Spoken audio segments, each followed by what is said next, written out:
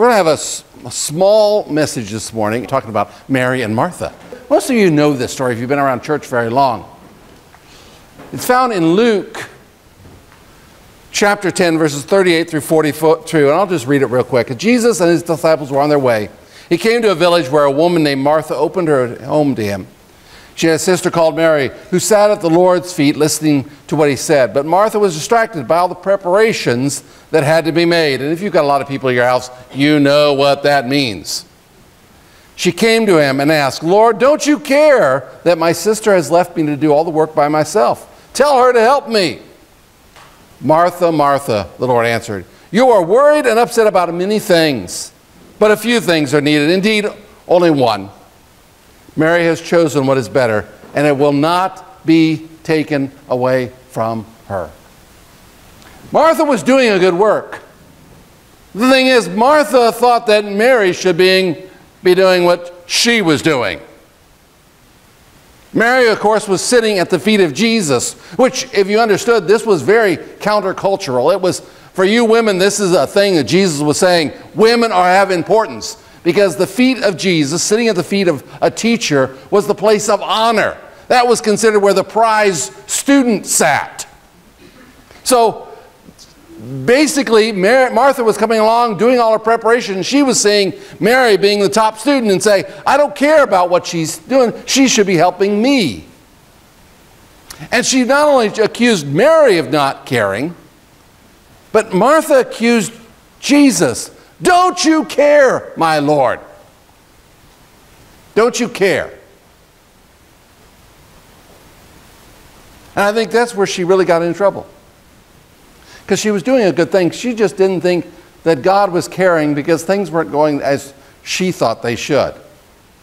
And Jesus said, You're worried about a lot, which brings us to our scripture in Matthew. It says, Therefore I tell you, do not worry about your life, what you shall eat or drink, what, you about, what about your body, what you will bear. Is not life more than food, and the body more than clothes?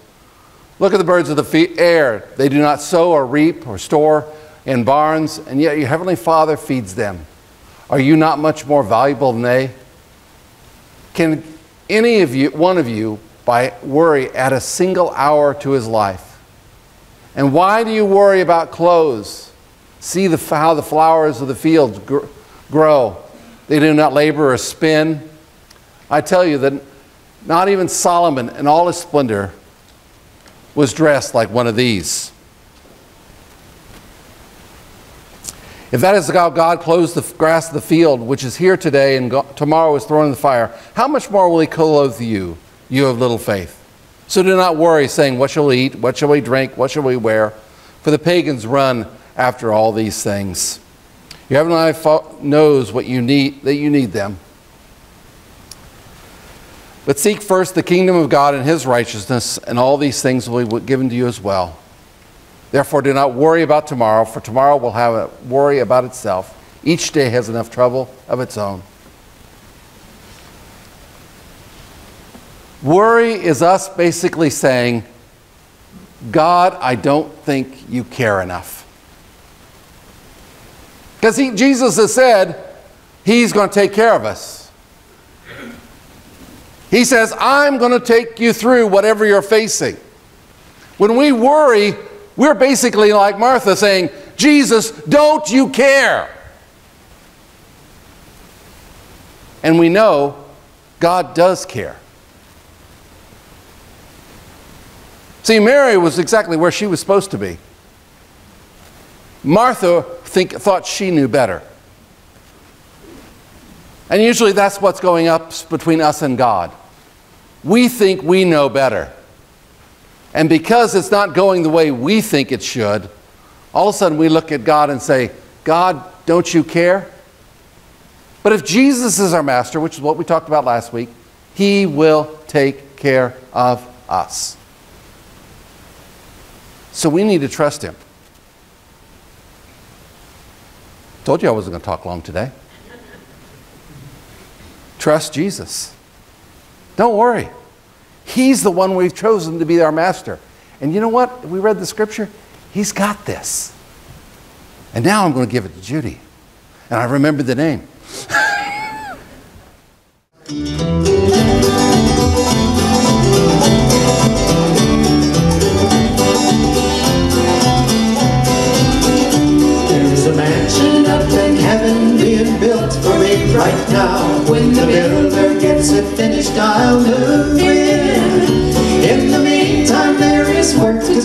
until he calls me home. There's a message to proclaim and souls to win. Well, I'm living ready, but I'm working hard. Satan's proud to and fro in my backyard. Jesus said that he'd return when old Gabriel blows his horn. So I'm living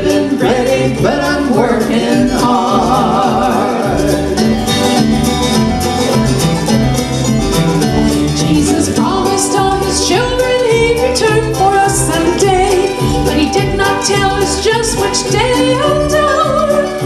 He just said, "You best be ready, same centered in my will, and I'll come back in a silver cloud with power." Well, I'm living ready, but I'm working hard. Satan's prowling to and fro in my backyard. Jesus said that he'd return when old Gabriel blows his horn.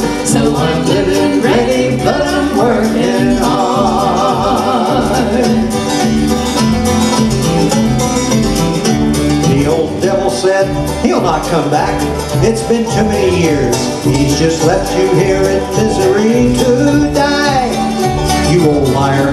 You just go away. Go hide and hold your ears. Soon the trump of God will sound and split the sky.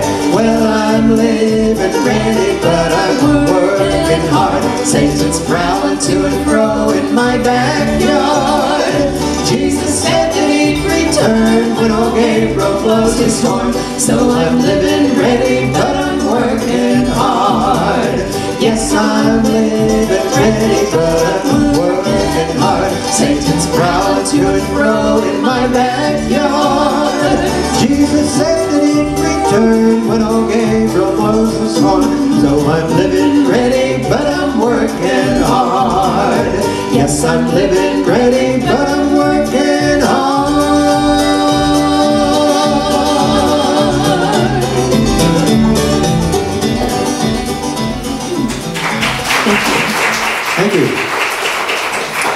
And good morning. It's a beautiful day in the neighborhood, as Mr. Rogers is wont to say. And uh, this is my neighborhood. When I grew up, kind of, I lived out about two and a half miles from here, but uh, uh, I remember attending Cub Scout meetings in the basement and all kinds of stuff here in this building. And there used to be a building adjacent to this one that uh, we went to school in. Who knew, you know? But uh, so it's, it brings back lots of memories, which is a danger to you. Uh, Stories. I I tend to get off on rabbit trail stories of stuff that happened many moons ago because for some reason I remember the things that happened many moons ago rather than the most recent moon, you know, and so it's, it's kind of challenging that way, but some of you may relate to that, and if you don't yet, you will uh, if you live long enough. So uh, anyway, well, we're glad to be here. We're glad to be here. And Dana was hoping to be here this morning, and, and she wasn't able to. So uh, I'm, I'm missing her, and some of you are too, I'm sure. But uh, we opened with a song that I wrote several years ago. Uh, it was based on a, a book that I read, a little booklet, 88 Reasons Why Jesus is Coming Back in 1988. It was a big seller that year, dropped off some in 89, but uh, it was quite, quite the deal. But uh, that was what motivated me to write the song, uh, and it's called Living Ready, but Working Hard. We don't know when he's coming back. I'll give you a clue, by the way. When somebody, like the guy that wrote that book, said that he knows exactly when Jesus is coming back, because he said September 12th at noon. I mean, it's pretty precise. I don't remember that he said which time zone, though. But anyway, uh, if they say they know, don't worry about it. For two reasons. One, he might come before then. Uh, and secondly, they obviously don't know because Jesus said no man knows. Uh, but he did say to quote a movie phrase, I'll be back. And, uh, and he will, and he will. So we may get to experience it in our lifetime or not. It's immaterial, really. Uh, but uh, the signs are pointing in that direction for sure. Uh, we look for big things to happen, and God says, not always, not always. Here's another song that I wrote.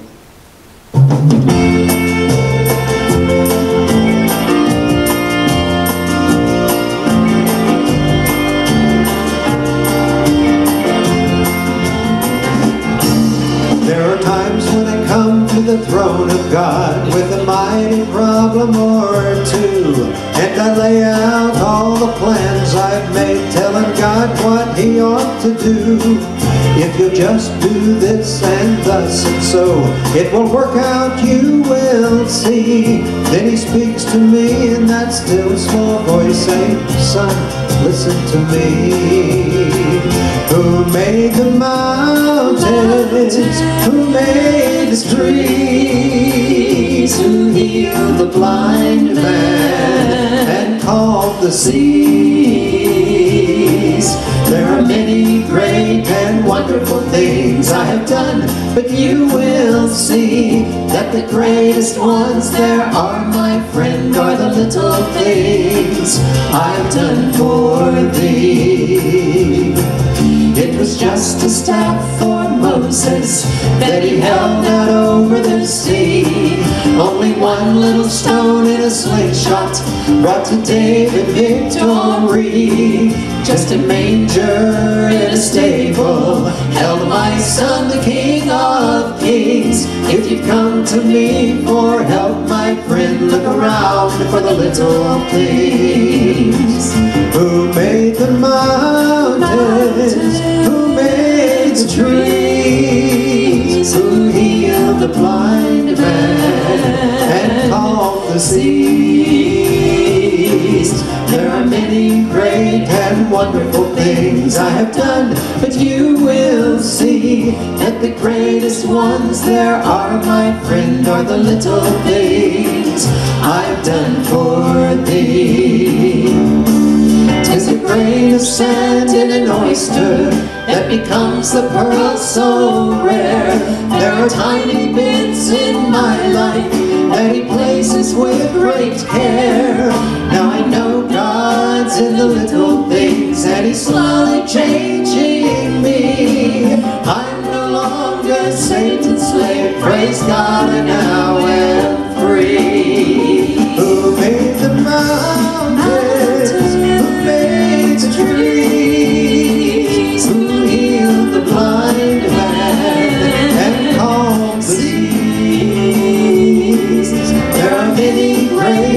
Wonderful things I have done, but you will see that the greatest ones there are, my friend, are the little things I've done for thee. They're the little things.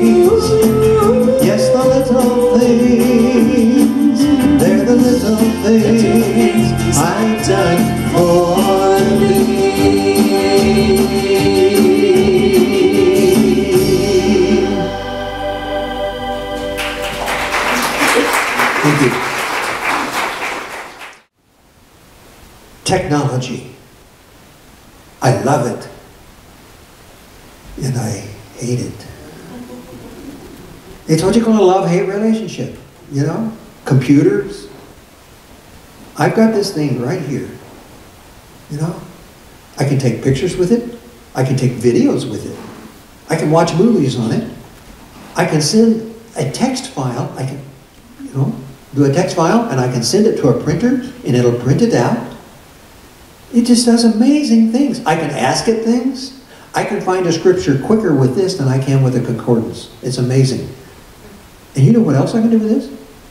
I can actually make a phone call. Who knew, you know? But uh, yeah, oh, and it just vibrated. I wonder what who's trying to tell me what. Well, anyway, uh, technology. When we first started traveling, well, this next year marks the 50th anniversary of our traveling music ministry. Okay, we've been at it a week or two, and uh, or three. And when we first started traveling, we played our tracks on, Havens folks had an old Wollensak reel-to-reel recorder. Some of you may remember those. And then we got moved ahead and we moved to cassettes. And then we went back to reel-to-reel with a more sophisticated than the old Wollensak reel-to-reel player. And then we moved to digital audio tape, DAT machine. And then we moved from that to mini discs. We moved from that to CDs. And then we moved from that to my computer.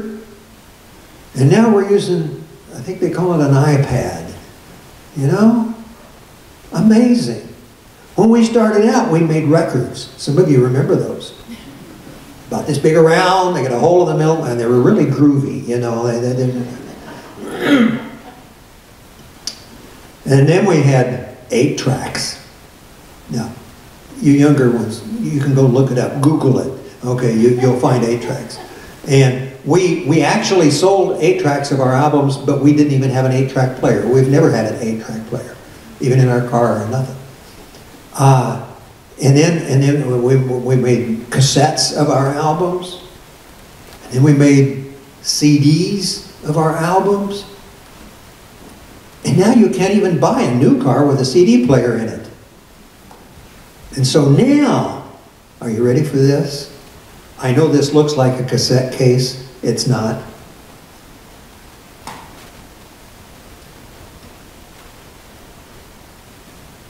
See that little thing? You can plug that into some cars. You can plug it into your computer. You can plug it into some TVs. It has all 99 of the songs that we've recorded over the years in that little chewing gum size piece. I don't know if they even make chewing gum that size anymore. But anyway, uh, and, and, some people call them thumb drives, some people call them flash drives, uh, USB drives, but anyway, that's what it is. And we, we, we just did this this week. We're, we're right uptown. we just got, got, and you drop it and it doesn't break. Really cool. You might lose it, but uh, you, you won't break it. So anyway, we, we have these available, and, and we do have the CDs out there too.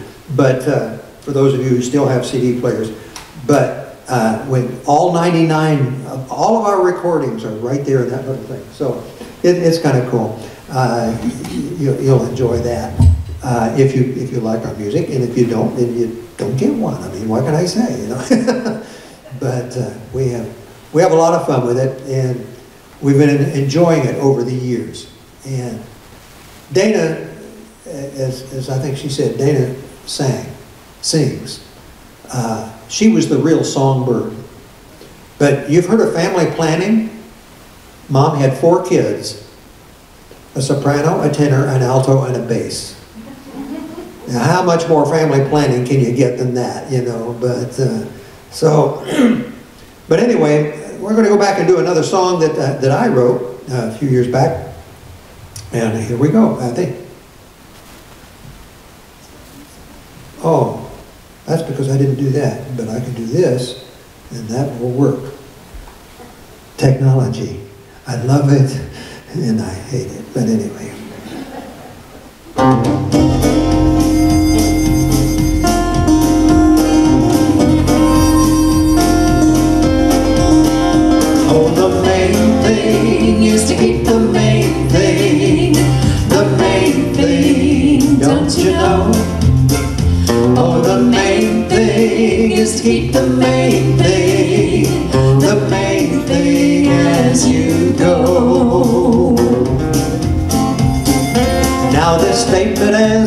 See it brings up a thought or two.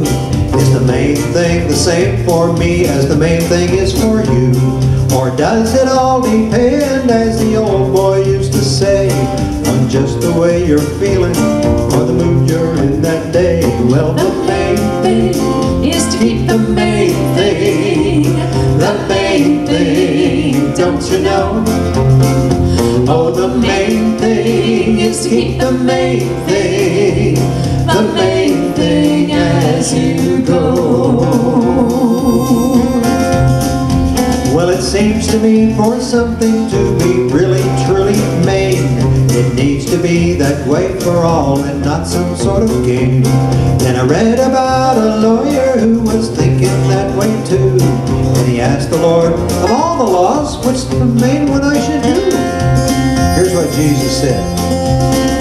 Jesus said, you all just listen up, the Lord your God is one. You love him with all your heart and soul and strength and mind. And then there is one other that I rank as number two. You've got to love the other guy just as much as you love you. Well, the main thing is to keep the main thing, the main thing, don't you know? Oh, the main thing to keep the main thing, the main thing as you go. The main thing as you go. The main thing as you go. Now, it's not a terribly difficult concept. The main thing is to keep the main thing the main thing. To do, so if you sing this little chorus, it may help you to remember to do it. You've heard it two or three times, so let's, let's all sing it together. Here we go. Oh, the main thing is to keep the main thing,